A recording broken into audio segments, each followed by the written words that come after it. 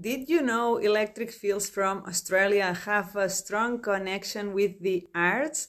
Their Eurovision song Milkali talks about 0.618, which is Fibonacci's golden ratio. You know, this shell shaped spiral, also called the divine proportion. It's a mathematical constant that appears on nature, art, and even finances and is believed to result in aesthetical, pleasant compositions and structures.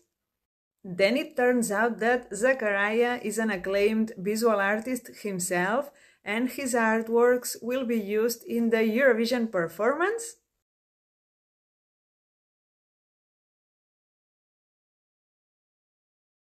Also, this art piece by his father inspired this song, Milkali and they have promised something very special and never seen in the Eurovision stage, so I'm really interested.